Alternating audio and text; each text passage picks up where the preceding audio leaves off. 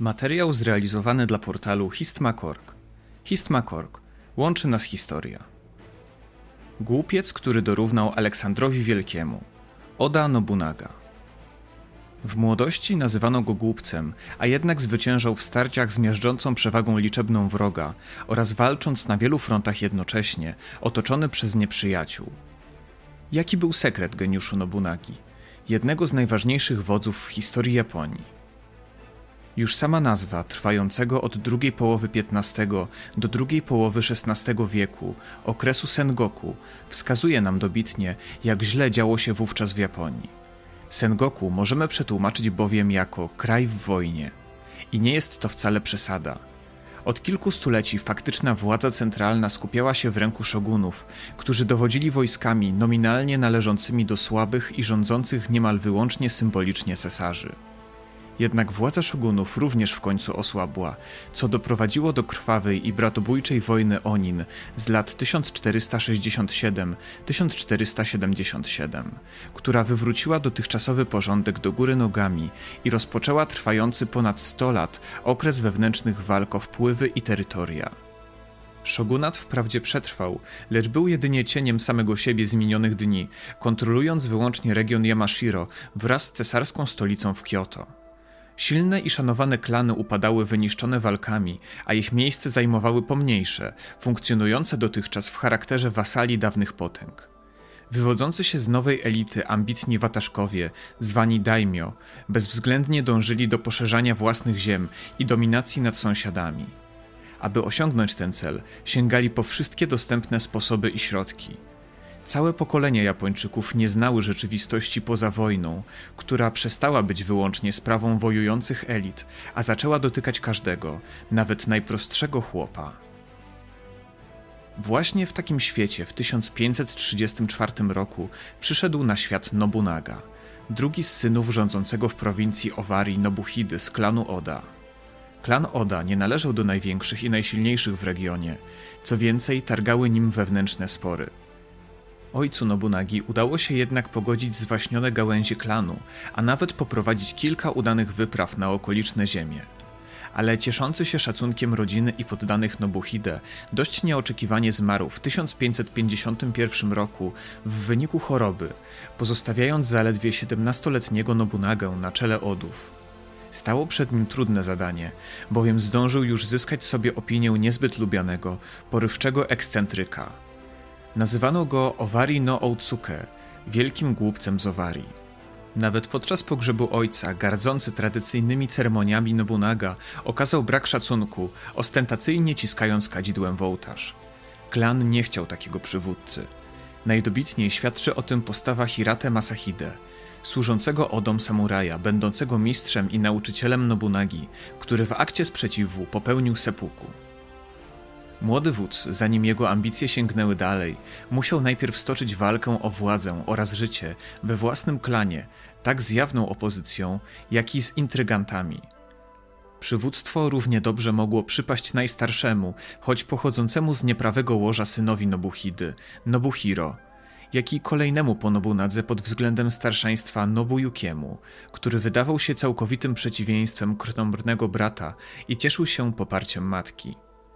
Z tej pierwszej próby, mimo tak wielu niesprzyjających okoliczności, Nobunaga wyszedł zwycięsko po siedmiu latach ciężkich walk, podczas których rozprawił się ze wszystkimi, którzy kwestionowali jego pozycję, w tym z młodszym bratem Nobuyukim, którego skrócił o głowę.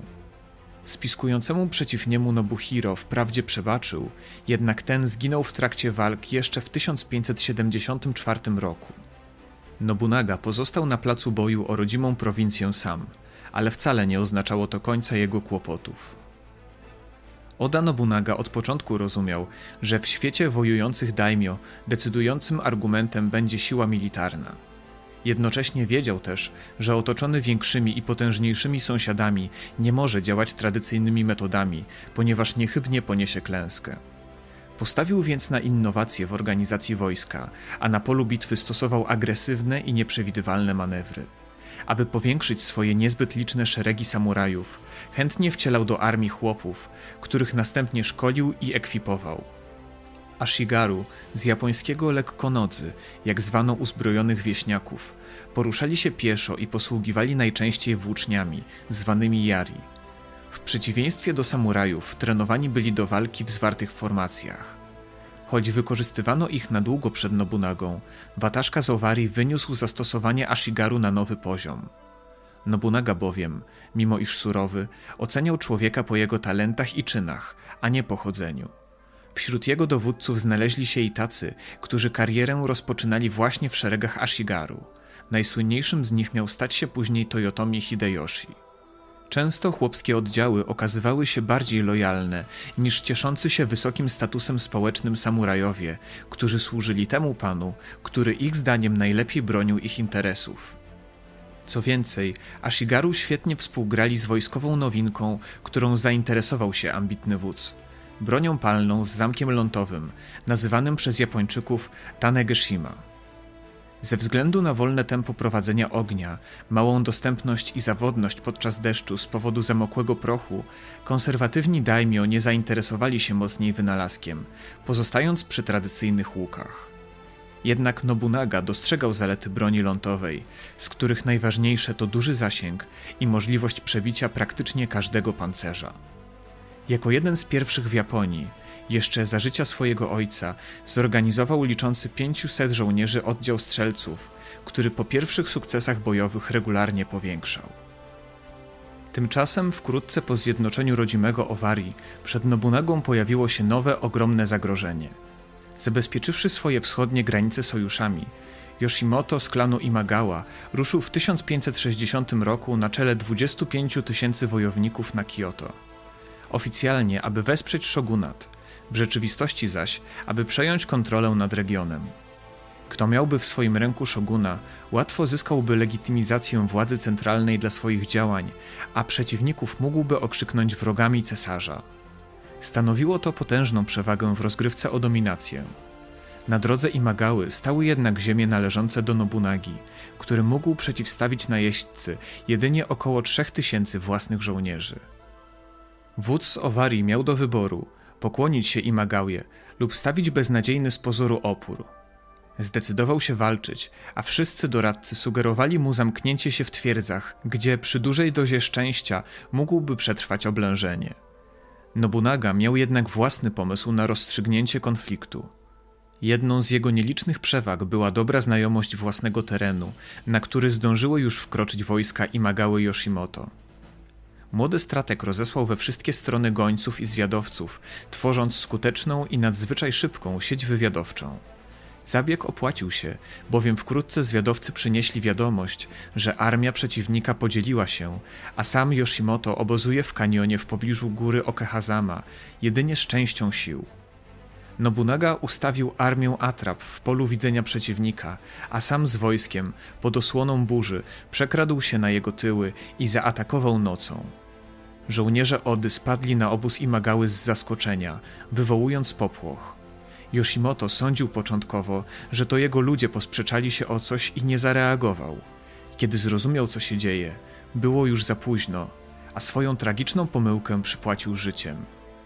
W starciu pod Okehazamą polegli też najważniejsi dowódcy Imagałów, a cała armia na wieść o tym poszła w rozsypkę. Nobunaga triumfował, a jego wyczyn przyniósł mu sławę w całej Japonii oraz grono sojuszników przekonanych o talentach daimyo z Owarii. Ambicje Nobunagi jednak ciągle rosły. Dążył do pełnej dominacji nad wszystkimi rywalami i zjednoczenia Japonii pod swoim panowaniem. Bliskość stołecznego Kyoto, która niedawno niemal kosztowała go panowanie nad rodzimym Owarii, tym razem okazała się sprzyjającą okolicznością.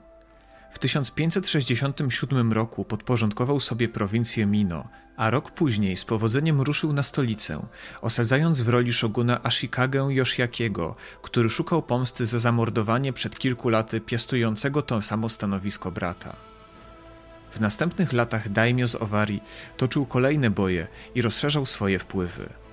A wrogów miał wszędzie, począwszy od zaniepokojonych wzrostem jego pozycji wataszków, przez buntowników, zdrajców, zamachowców, po wrogie mu wojownicze sekty i klasztory buddyjskie. Właśnie pacyfikacja klasztoru Enryakuji na górze Hiei w 1571 roku stała się jedną z najciemniejszych kart w historii Nobunagi. Wobec grożących mu stale wewnętrznych i zewnętrznych niebezpieczeństw musiał postępować bezwzględnie, aby przetrwać. Niektórzy sądzą, że doprowadziło go to do rodzaju paranoi, przez co rozmiłował się w przemocy – w kontrze do tego stoją jednak opinie, jakoby był władcą sprawiedliwym i niezwykle honorowym, choć aroganckim i wydającym ostre osądy. W każdym razie, aby dać jasny przykład innym kwestionującym jego władzę, a jednocześnie raz na zawsze zażegnać zagrożenie ze strony mnichów rezydujących niedaleko stolicy, rozkazał żołnierzom podpalić wszystkie zabudowania klasztorne oraz nikogo nie oszczędzać, także kobiet i dzieci. Rzeź przybrała takie rozmiary, że wstrząsnęła nawet nawykłymi do ciągłego horroru wojny Japończykami, a Nobunagę okrzyknięto demonicznym daimyo.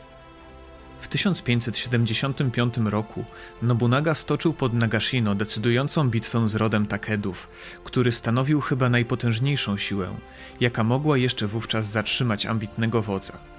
Kolejny raz odniósł zwycięstwo, zaskakując słynącego z manewrów okrążających przeciwnika, taktyką opartą o sztuczne przeszkody i ostrzał szeregami. Sukcesy na polach bitew Nobunaga podpierał roztropnym gospodarowaniem i działaniami politycznymi. Poza uzależnieniem od siebie cesarza i szoguna oraz zorganizowaniem sieci sojuszy, dbał też o rozwój gospodarki, słusznie widząc w niej podstawę dla silnej armii doprowadził do zniesienia wielu podatków celnych, czym z jednej strony pozbawił znaczącej części dochodów wrogich mu daimio, a z drugiej ożywił handel. Sprzyjał też chrześcijańskim misjonarzom, którzy stanowili przeciwwagę dla zagrażających mu sekt i klasztorów, choć sam nie wierzył raczej w zaświaty. Do 1580 roku cieszył się już pozycją najpotężniejszego człowieka w Japonii, a pod swoim bezpośrednim panowaniem miał aż 20 prowincji. Marzenia o zjednoczeniu kraju pokrzyżowały jednak zdrada i zamach, przed którymi tak skutecznie bronił się do tej pory. Winnym śmierci Nobunagi był Akeichi Mitsuhide, jeden z jego dowódców. Motywy Mitsuhidego do dziś nie są jasne. Mógł próbować zająć miejsce swojego wodza. Niewykluczone jednak, że szukał zemsty za liczne upokorzenia, których miał doznać w służbie Uody oraz śmierć matki, która zginęła ponoć wskutek jednej z decyzji Nobunagi. Możliwe też, że wszystkie te kwestie były równie ważne. Okazja nadarzyła się, kiedy Nobunaga wysłał go z wojskami jako wsparcie dla innego ze swoich dowódców, wspomnianego już wcześniej Toyotomiego Hideyoshiego. Sam zaś odpoczywał w Kyoto, w świątyni Honoji, jedynie z nieliczną obstawą. Akechi Mitsuhide pod pretekstem wykonywania rozkazu podprowadził armię pod Kyoto, a następnie 21 czerwca 1582 roku otoczył świątynię. Ludzie Nobunagi stawili opór, jednak musieli ulec siłom zdrajcy. Sam wódz, nie chcąc oddać się w ręce przeciwnika, postanowił odejść na własnych warunkach, popełniając sepuku.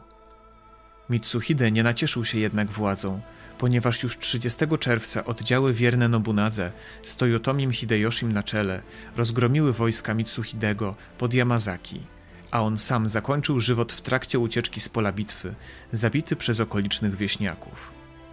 Oda Nobunaga przyrównywany jest nieraz do Aleksandra Wielkiego. Faktycznie, wódz z Owarii posiadał ogromny talent wojskowy i dokonywał rzeczy niezwykłych. Choć jego błyskotliwą karierę przerwała zdrada, po latach marzenie Nobunagi o zjednoczonej Japonii zrealizowane zostało przez wiernego mu Toyotomiego Hideyoshiego, który towarzyszył Nobunadze niemal od początku i zawdzięczał mu wszystko. Dla portalu Histma.org czytał Mateusz Balcerkiewicz. Histma.org jest medium niezależnym i potrzebuje Twojego wsparcia finansowego, aby dalej się rozwijać.